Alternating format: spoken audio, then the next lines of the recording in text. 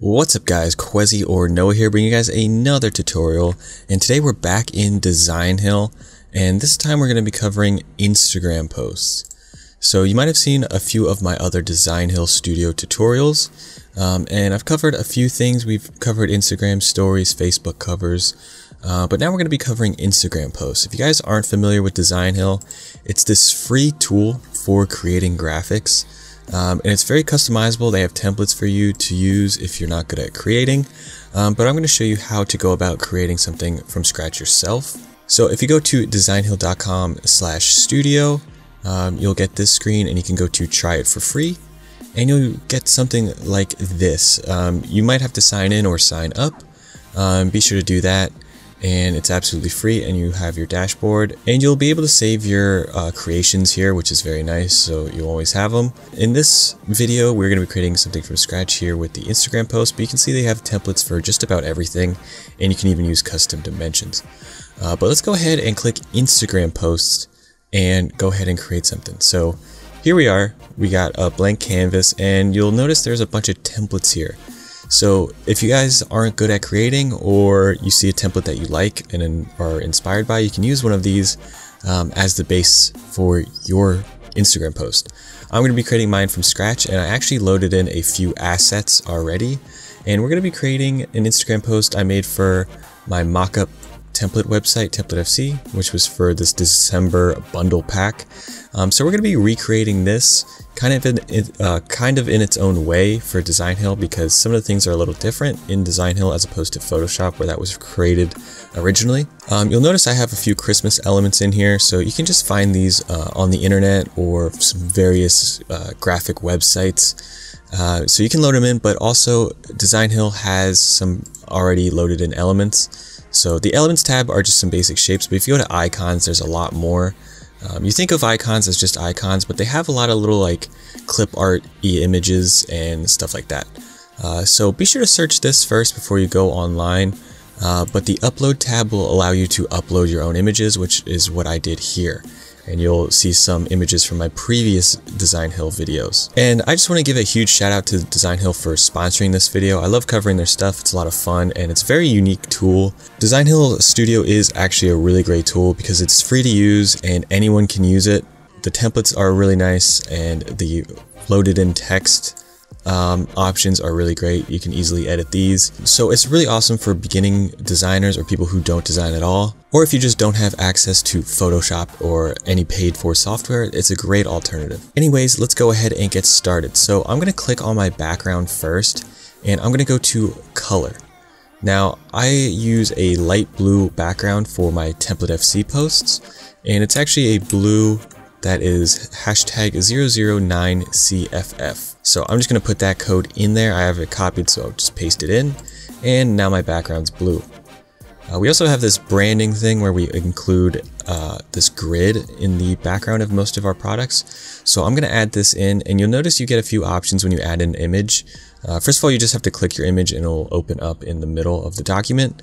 Uh, the outer anchors or the corner anchor anchors uh, scale but you can use these side ones to fit the image to what size you want. So obviously I wanted to go end to end and I actually want this rotated because it's better, it's centered a little better this way. Um, and you can see the top and bottom are aligned and then I can just drag this one to the left, this one to the right, and that scales it for me and it fits the image in. Now if I wanted to scale it up or down, I could use the corner and that's pretty easy, but I like it exactly like that. Now I'm going to add in the images I am promoting. So I'm promoting these four products as they are in a bundle. So I'm going to go ahead and add these here. And this one's going to go to the bottom left. This one's going to be bottom right. This one's going to be top right. And then this one's going to be um, top left. And I'm going to scale these in until they go, um, they click into the middle. So actually let me move this down and scale this. And what I mean by that is if I take this and align it to the left edge, you'll see a pink line down that left edge. And actually, if I zoom in a little bit, down here with this percentage is where you can zoom in, by the way. Um, let me just show you that again. It aligns it to the left there. And then if we grab, if we grab the anchor point and move this down, we should get a pink arrow for the middle, which is right there. And that's the size I want all these to be. So let's scale back out. I'm going to go to fit. And let's scale this one down too. Make sure the edge is aligned. Scale it down till we get the middle pink.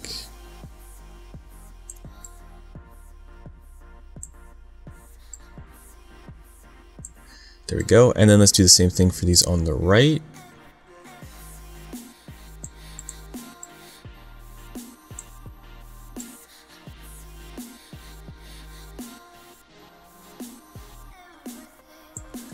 Perfect. Now I want to align these um, how I want them. So they're going to be a little staggered and more towards the bottom.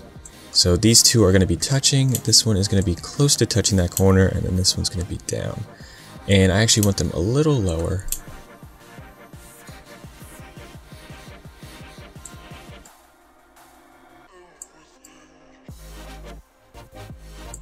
Cool, so that is sort of the look I am going for with these. And before I add all the design elements, like the Christmas elements and everything, I want to add in my text so I have my text placement and all the information I want in text on my image so then I can add the other stuff around it. So let's go to the text options and you'll notice there's a bunch of text templates here that you can add in and edit. Um, so if you find one of those that you like, feel free to add it in and change it. You might have to ungroup it before you can edit, so keep that in mind, but I want to go ahead and create my own text. So I'm just going to go to add a heading. And the top text, I want it to say December bundle pack. And I'm holding shift there, so it's all caps. And I'm going to extend this right arm out and then bring this to the top. And I'm going to just bring this in so it's about the size of our text cool. And then I'm going to use the scale tool to scale it up. You could increase the font size, but something in Photoshop I always do is just scale it up. And I think it's easier. So that's what I'm going to do here. And align it till it is centered. And I believe that is centered. Um, let's select the text by triple clicking and go to our fonts. And I actually kind of like the Open Sans font. Um, I don't know what it looks like, bold or italic. Um, let's actually, I wonder if there is a bold version of this.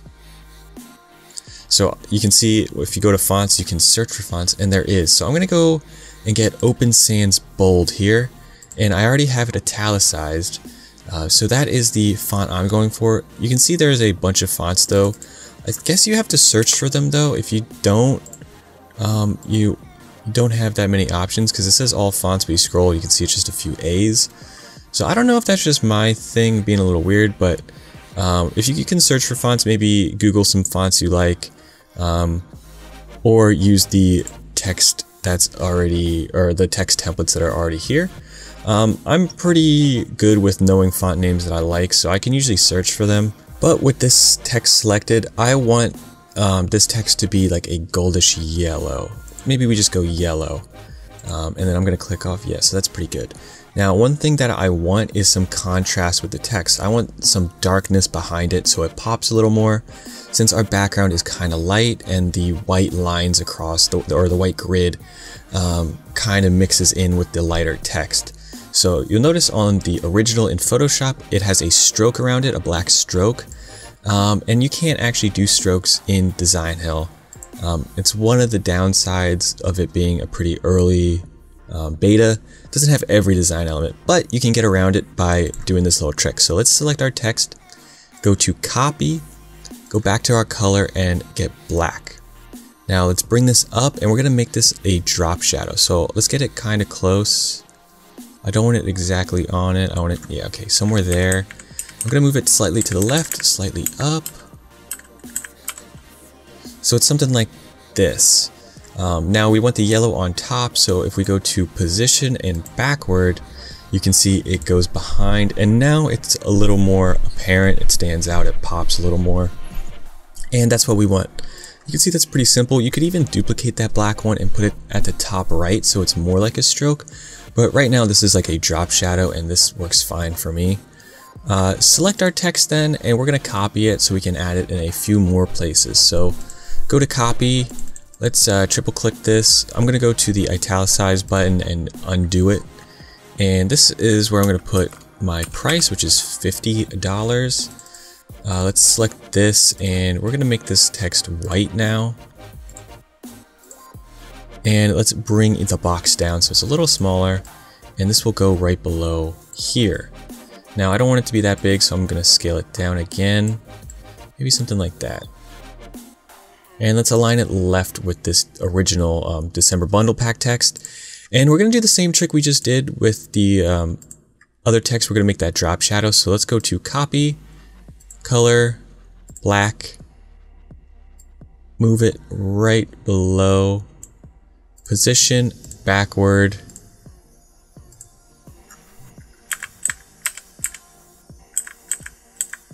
And I'm using the arrow keys to adjust position here. And I think that is pretty good. Cool. So let's select that again and copy it one more time. And this is where I'm going to put the other price, which is like um, the original price all these products would be, but it's discounted, so it's a little less. Um, so let's go 83. 85 is the original price if all these products were sold individually. Um, and let's put that here. We're going to make this a little smaller and put it, um, yeah, we'll put it like right next to it here. And I actually want this opacity to be slightly down. So if we go to this button here, the um, grid, and pump this down to about 78 works. Somewhere in the 70s is what I was doing. Um, and maybe we make it even smaller.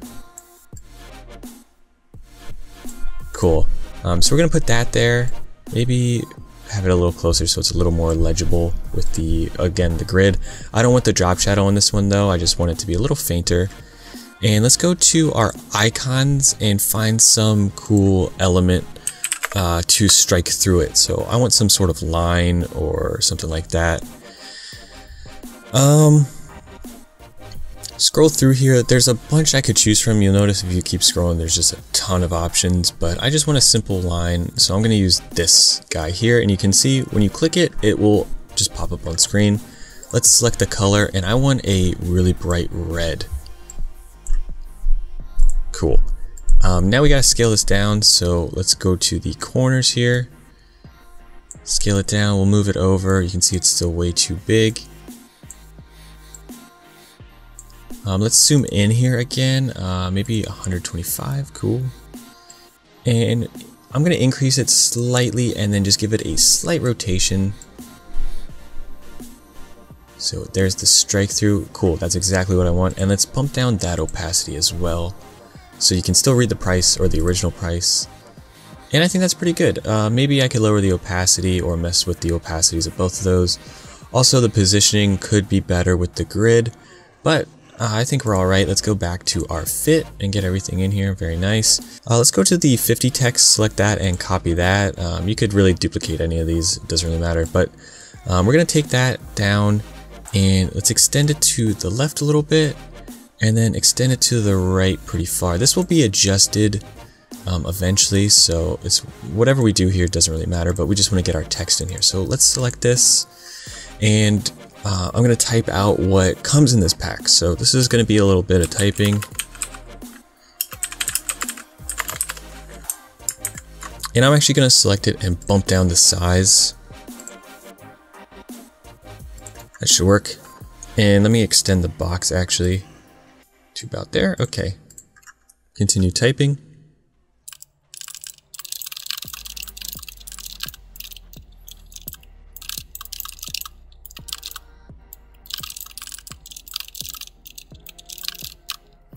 Okay, um, let's adjust this so we get it on two lines and perfect.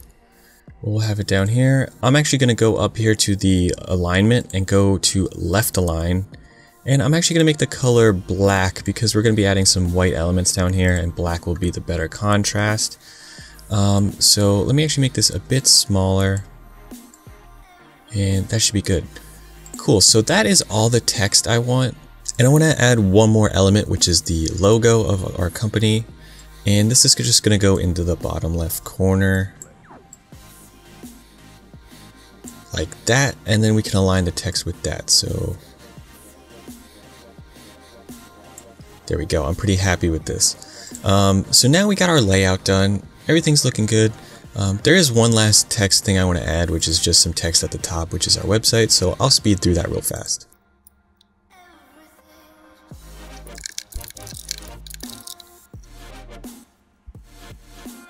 Um, now we can go ahead and start adding our Christmas elements or our design elements in here. Now your design elements could be anything you want. Obviously I'm going with the Christmas theme here, so all mine are Christmas related. Um, so the first thing I added in here uh, was some snow. So you can't see it because it's white and very thin here, but if I click this, you'll see we get this snow added. So this is going to be at the bottom because obviously that's where snow would occur um, or uh, lay. And I'm going to drag that down and rotate it a little bit um, just so it's not too even. And then let's go up to copy, rotate that the other way slightly, bring this down and overlap it a bit. Uh, maybe we drag both of these down so they're a little smaller. Okay, that's pretty good. Uh, now obviously we want the text in front of it. So we could go to the snow and go position backward, backward, until it's behind uh, and do the same thing. You could also go to the text and logo and do the same thing but go to the front. Really doesn't matter, but we'll go backward on this snow. There we go, perfect. Um, and maybe we move this over actually a bit. Alright, cool. Um,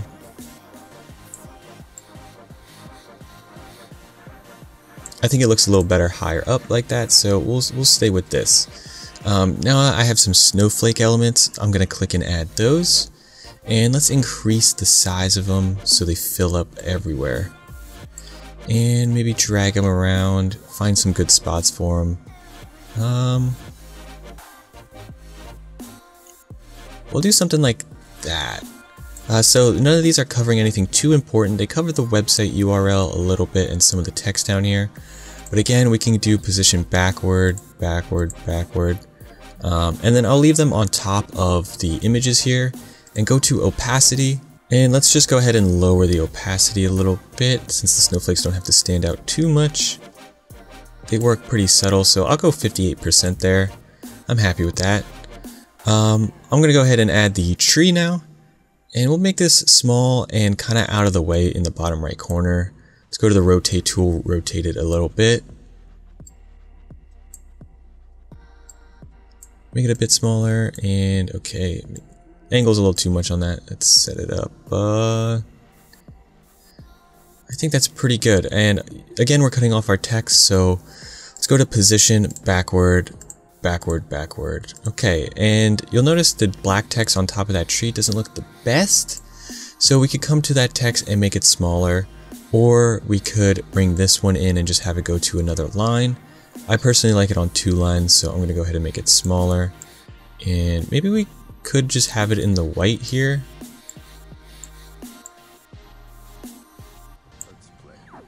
I don't know, feel free to adjust the text though to fit your design. It's up to you, I originally had it just in the bottom like so, something like this. So it's up to you guys how you do it. Uh, feel free to mess around with your ori original design as much as you need. Uh, and finally we get the cool part that finishes this off and that's the lights. So let's click and add those.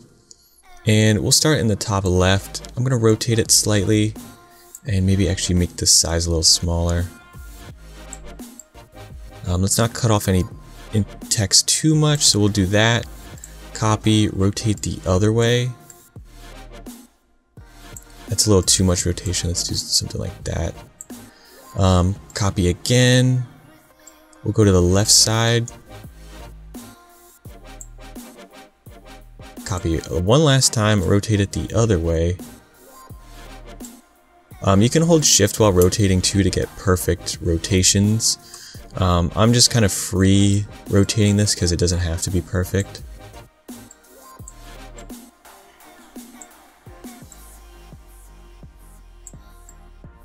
And there's the one on the right. Let's actually move the one on the left up a bit. And cool, and there is my Instagram post. You can see very easy to use this Designhill um, editor. So after you finish that, you can go up to the name here. Right now it's untitled, and you can name it whatever you like. So I could call this December bundle, and then you want to go to save and save. And that will save it to your um, studio here or your, or your studio dashboard. Now I'm not going to save it because it takes a little bit of time sometimes um, and I want to show you the next thing which is downloading it which is the most important. Um, so you want to go to download and it really doesn't matter what type you choose. Um, I think JPEGs typically are smaller for something like this and PNGs you might want to only use if you're using the transparent background. Um, so do one of those PNG or JPEG. PDF you kind of don't need to do for the uh, an Instagram post. The PNG is probably higher quality, like I said, um, or I guess I said file size, but the file size means uh, higher quality. So the PNG is probably higher quality, but for something like this, a JPEG would probably work. Um, so choose whatever works best for you. Go to PNG size. You want at one because this is the Instagram size. If you go any bigger, it's a little overkill. Um, and then you just want to go to download and it will prepare your download and download it to your computer. After that, you can send it to your phone or wherever, uh, airdrop it to yourself and upload it to Instagram. And it's easy as that. And if you save it to your dashboard here, you can come back and edit it later. So maybe you have a lot of posts that are in a similar layout. You can always go back and edit it to fit your next post, which is really nice. But I hope you guys enjoyed this tutorial. I hope you learned something. Uh, be sure to go ahead and check out Designhill, uh, designhill.com slash studio. Thank you for watching. Be sure to subscribe. Follow me on Twitter at Qehzy. Follow my Instagram, that's Qehzy. Check out my Patreon and support me there if you enjoy my tutorials and you get some good stuff when you sign up. There's like uh, three years worth of stuff posted there that you can just download and use and learn from. Um, it's really nice. Hopefully this download finishes up soon. Uh, but thank you guys for watching. I will see you guys in the next one. Peace.